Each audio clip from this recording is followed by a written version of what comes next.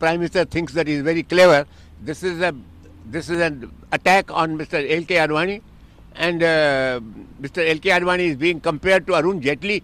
L.K. Advani, poor fellow, he, he he was not prepared to take any job.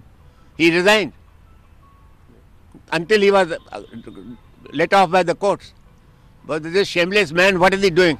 There are hundred allegations against him.